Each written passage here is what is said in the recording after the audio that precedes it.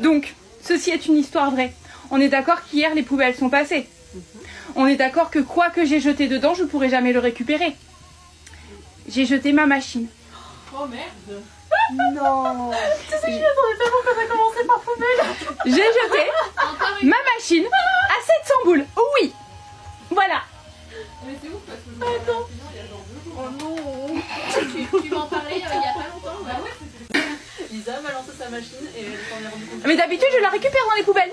Là, c'est foutu, les poubelles sont passées. Ils ont emmené ma machine neuve à 700 boules.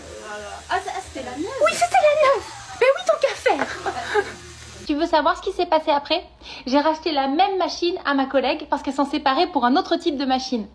Ça tombait plutôt bien, hein À peine quelques semaines plus tard, ITC m'a contacté pour que je teste celle-ci. Du coup, bah, bah j'ai changé de machine et j'en ai racheté une pour rien. Après, euh, je pouvais pas dire non, hein. Elle est rose.